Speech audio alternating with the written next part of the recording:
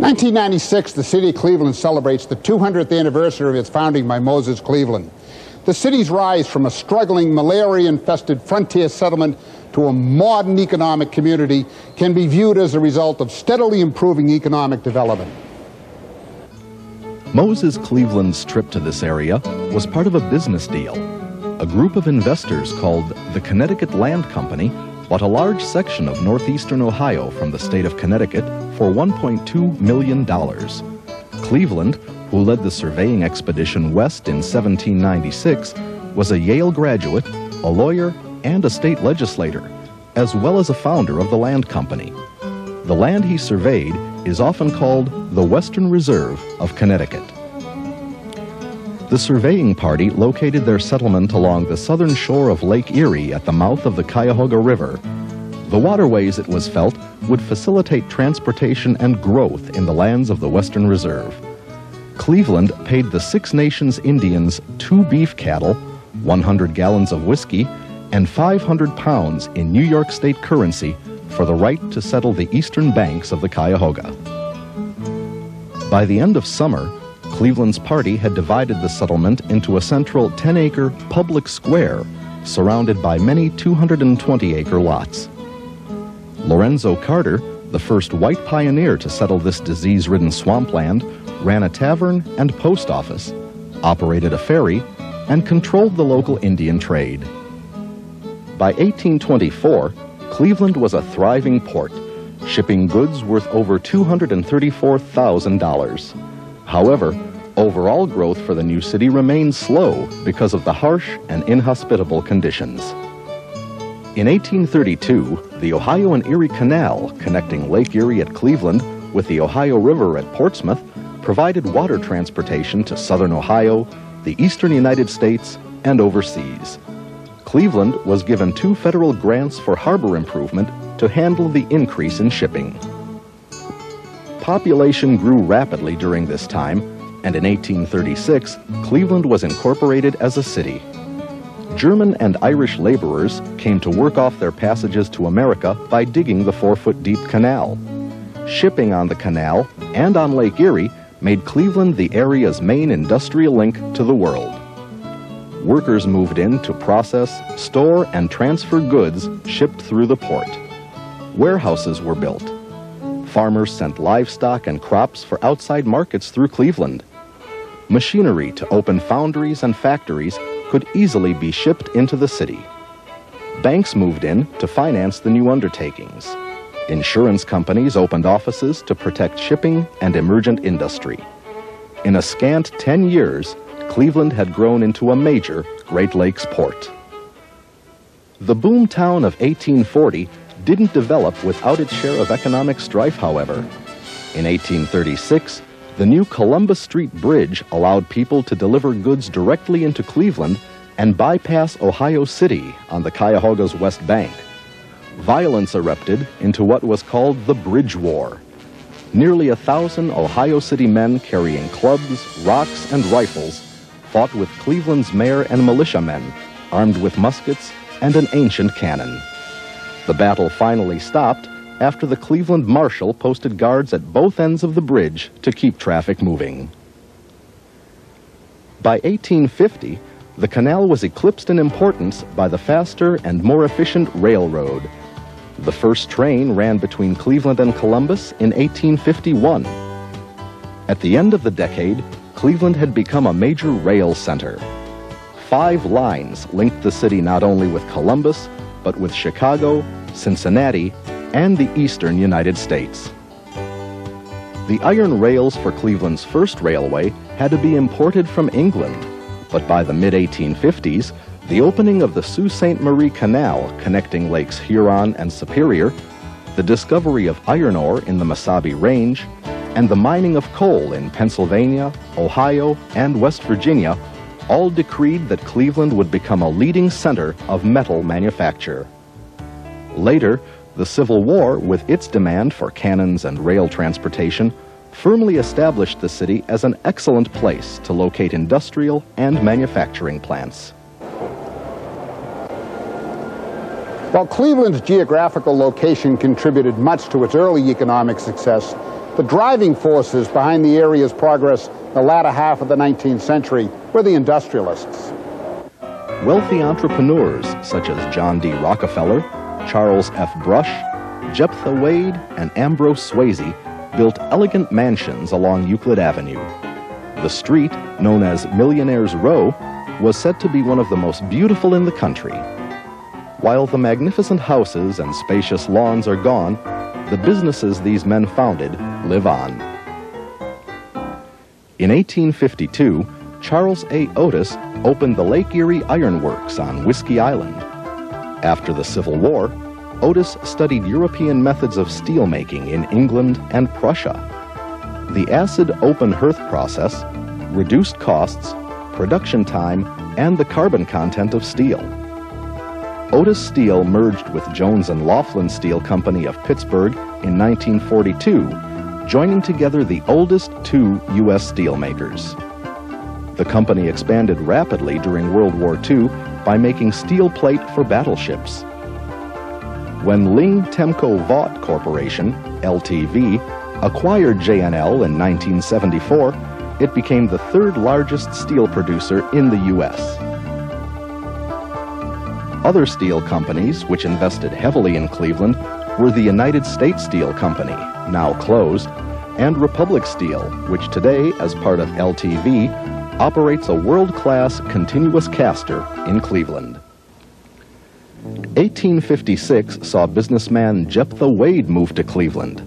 The telegraph company he founded, Western Union, grew into the world's first telecommunications conglomerate.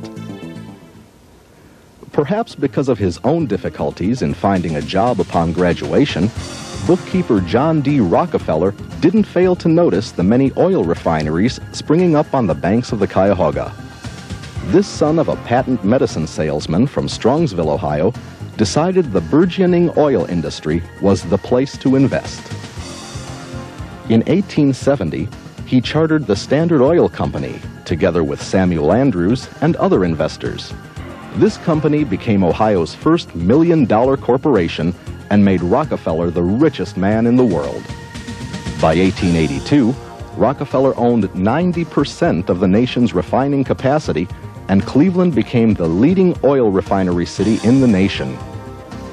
Standard Oil remained a familiar presence on the economic front under such names as Exxon, Esso, and Sohio.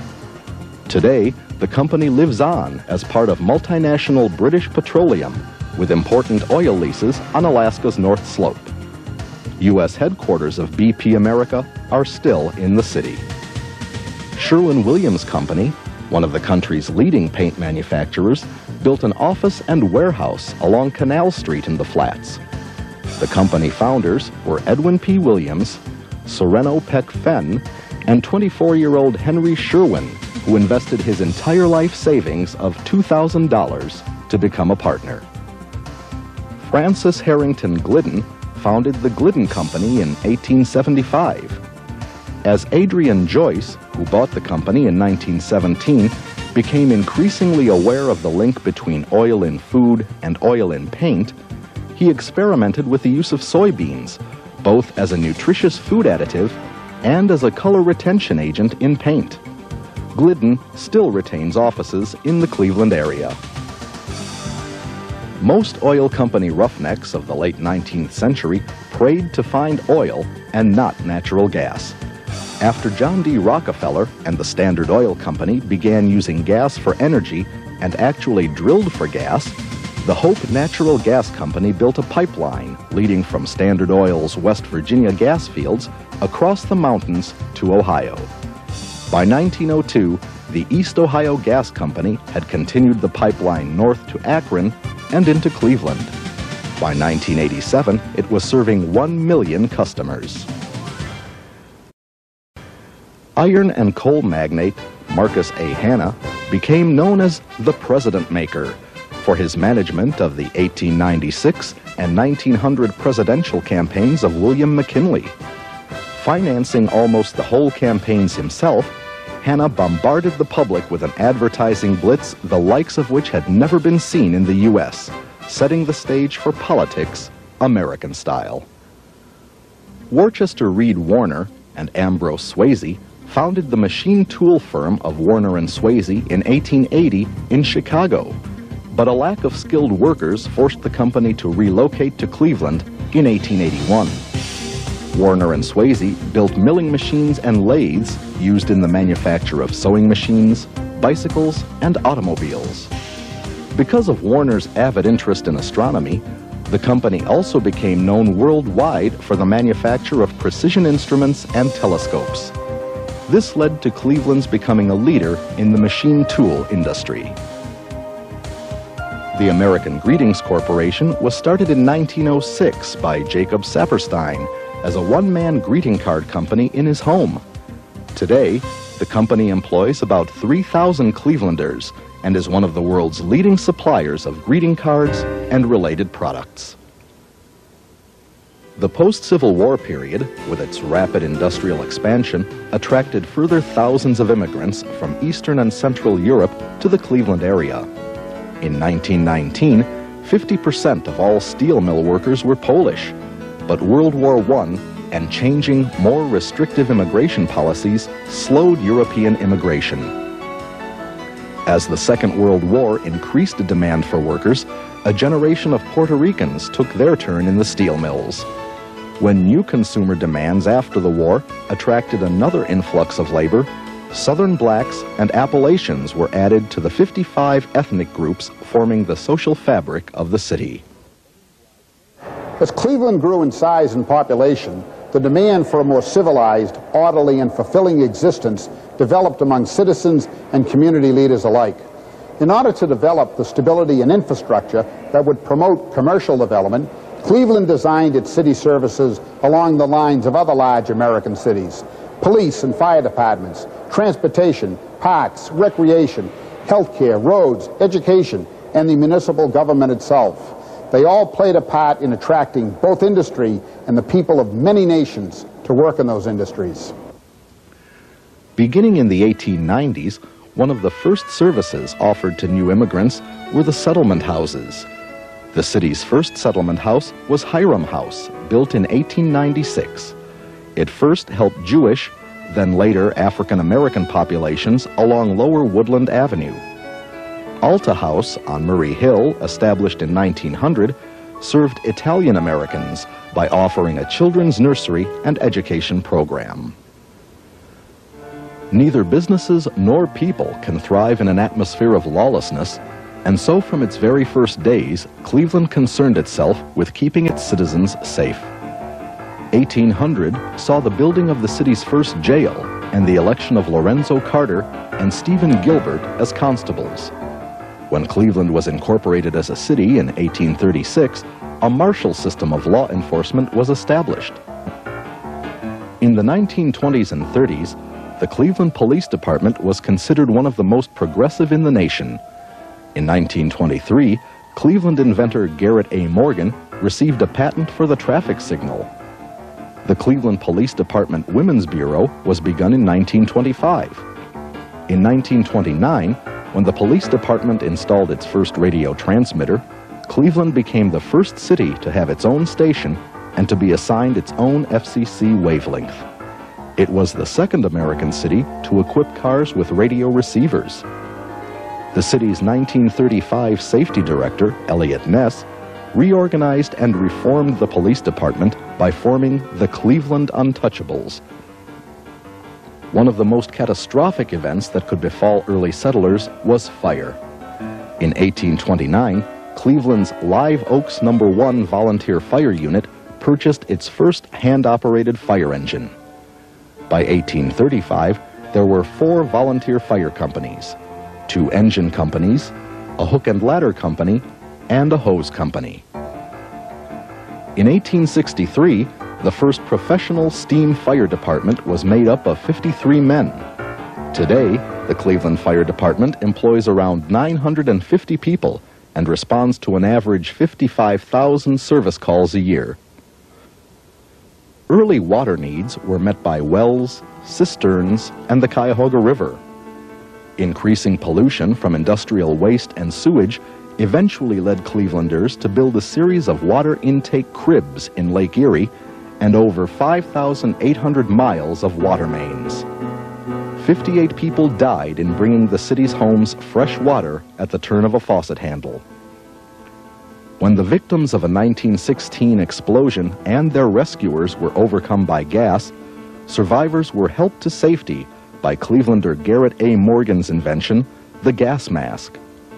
The waterworks at West 48th Street are named in his honor. From its incorporation as a city in 1836, Cleveland was authorized by the Ohio State Legislature to impose taxes to support a public school system. The first Cleveland public school was Bethel Union School. Built to provide a free education for the poor children who lived in the flats, this school was nicknamed the Ragged School because of the poor condition of the children's clothing. Cleveland's Central High School was the first public high school to provide free secondary education west of the Alleghenies.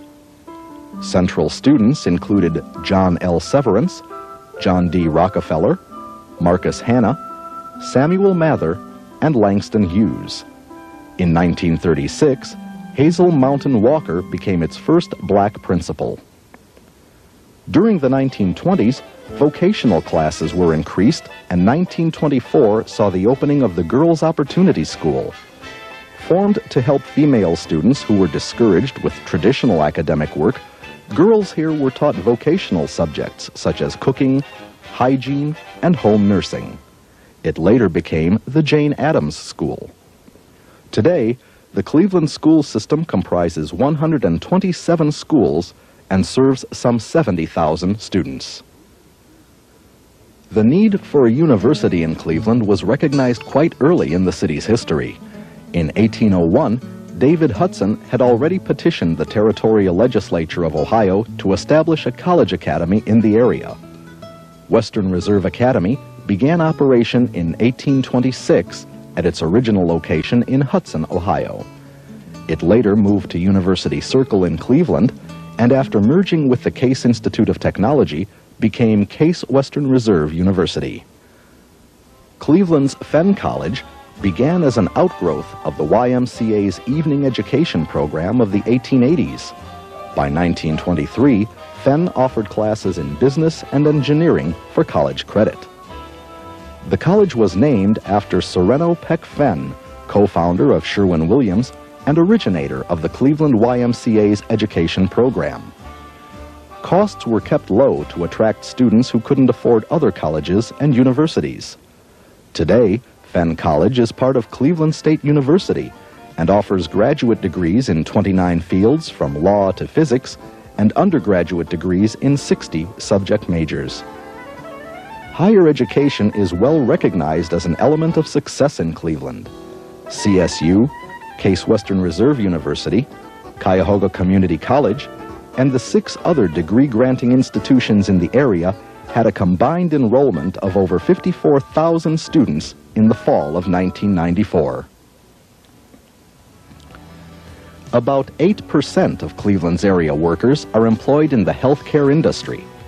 The 10 hospitals within city limits include the world-famous Cleveland Clinic and university hospitals.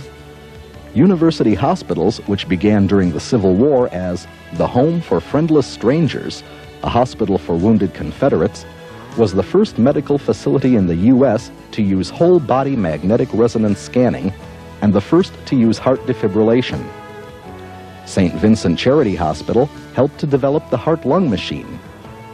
The world's first human to human blood transfusion was performed at St. Alexis Hospital in 1906. Because early settlers were surrounded by trees and forest, they saw no need for parks, and even if they did, frontier life left them little time for recreation. By 1865, attitudes had changed, and City Council was alarmed to find that Cleveland was far behind most cities of its class in the acquisition of parkland. In 1882, Jeptha Wade, Cleveland citizen and founder of the Western Union Telegraph Company, donated 64 wooden acres to become the city's first large park. Wade Park later became University Circle, site of the Cleveland Art Museum, the Natural History Museum, and Severance Hall. At Cleveland's centennial celebration in 1896, Cleveland millionaire John D. Rockefeller donated 276 acres along the Doane Brook, along with $300,000 to help pay for land the city had already acquired in the area. This land became known as Rockefeller Park. Cleveland's mayor of 1901, Tom L. Johnson, who was called the best mayor of the best governed city in America for his efforts at reforming city government, set the goal of providing the most crowded sections of the city with playgrounds. Winter sports included ice skating and skating races at Brookside and Rockefeller Parks. Summers included baseball and tennis, as well as municipal dances at Edgewater and Woodland Hills Parks. Citizens could go to their local park and hear band concerts on Sunday evenings. Cleveland Metroparks, a system of recreation, conservation, and wildlife areas on more than 19,000 acres surrounding the city, was the dream of William A. Stinchcomb, Cleveland's city park engineer. Stinchcomb advocated the creation of parks along the outer edges of the metropolis as early as 1905 his dream became a reality in 1917. The Cleveland Zoo began with a herd of deer in Wade Park in 1882. Because of the complaints of residents in the increasingly urban area, the zoo was relocated to its present position within Brookside Park in 1916. The zoo was renamed Cleveland Metroparks Zoo in 1975 when it became part of the Cleveland Metroparks. Since then, it has undergone a development program unmatched in its history and has added the primate, cat, and aquatics building, the birdhouse, and the rainforest. Spectator sports and recreational activities in today's Cleveland are varied and exciting. Professional sports teams include Indians baseball, Cavaliers basketball, Browns football, Crunch soccer, and Lumberjacks hockey. Events scheduled for the amusement of citizens each year are the Cleveland National Air Show, the Cleveland Grand Prix Auto Race, traditional 4th of July fireworks, boating and sailing events, rib cook-offs, ethnic heritage festivals, and professional theater at Cleveland Playhouse and at Playhouse Square. The city's art and natural history museums offer special exhibits throughout the year. The lakefront includes the Rock and Roll Hall of Fame, the ore carrier museum ship, the William G. Mather, and the soon-to-be-opened Great Lakes Science Center. City parks remain inviting places to enjoy a quiet day or to play amateur sports. Cleveland's cultural institutions were created with the same panache as its industries. Indeed, one 1928 commentator wrote, All community achievements seem easy in Cleveland. The visitor fancies that someone waves a hand and museums, libraries, orchestras, and art schools come into being forthwith. The Cleveland Public Library, founded in 1869, rented its first quarters at Superior and Public Square. In 1890, construction of 15 neighborhood branch libraries was begun with a gift of $590,000 from Andrew Carnegie. A 1903 collection of books in Braille began service for the blind. The present main library on Superior Avenue opened on May 6, 1925. With 28 branches and 2.5 million titles, Cleveland's library is the largest public research library in Ohio. The internationally renowned Cleveland Museum of Art first opened to the public in June of 1916 on land donated by Jeptha Wade. The museum has benefited from the generosity of Cleveland's wealthiest citizens who, over the years, donated money for acquisitions or gave their own collections to the museum. Admission to the museum is still free. The Cleveland Orchestra is the result of many years of hard work by Clevelander Adela Prentice Hughes. After bringing visiting ensembles to the city, Hughes formed the Musical Arts Association to develop a local orchestra. The Cleveland Orchestra gave its first benefit concert in 1918. In 1931, a generous gift from businessman John L. Severance, in memory of his wife, enabled the Musical Arts Association to build the orchestra a permanent home in Severance Hall. The orchestra has toured and recorded extensively under such world-renowned conductors as George Szell, Lorin Maazel, and Christoph von Dohnanyi. Cleveland's economy, once dominated by heavy manufacturing, oil refining, and steel, is today more diversified. Cleveland's port has remained the largest overseas harbor front on Lake Erie and the third largest port on the Great Lakes. The city is a center of rail transportation, trucking, and air cargo shipping at two major airports. Roughly one quarter of the city's workers are employed in the service sector in fields such as law, education, business and personal service, engineering, healthcare and health education, accounting, and hotel jobs. Research and technology in such areas as medicine, biotechnology, aerospace technology, and polymers will help guide Cleveland's economy into the future. Brilliant entrepreneurs, industrial giants, and thousands of hard-working laborers all played a role in shaping Cleveland's last 200 years into a proud history. The economic foundation laid down by these people is strong and full of hope. In Cleveland's third century, just as in the city's first two centuries, business as usual promises to be something quite extraordinary.